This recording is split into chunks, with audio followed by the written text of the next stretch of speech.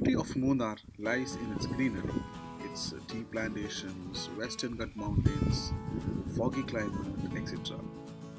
This video is about Elekam Waterfalls, which is almost one hour drive from Munnar, which is in the southern state of Kerala.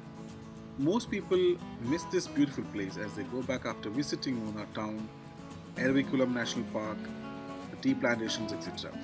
But if you drive furthermore from Eravikulam National Park, you will reach Lakkam Waterfalls. There is a 20 rupees per head pass to enter this place, and if you wanted to go trekking, that's 100 per head. The timing are from 9 am to 4 pm, so plan accordingly your trip.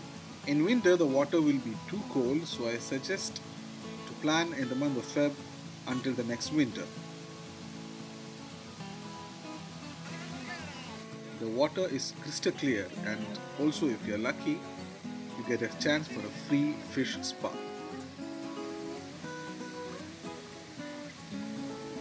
The best part of Lakkam Falls is that you get to stay right below the waterfalls.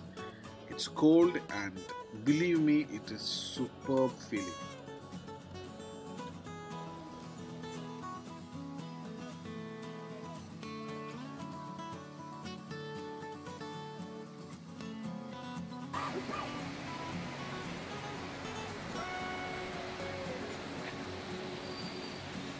So do plan a trip to Lakkam Waterfalls.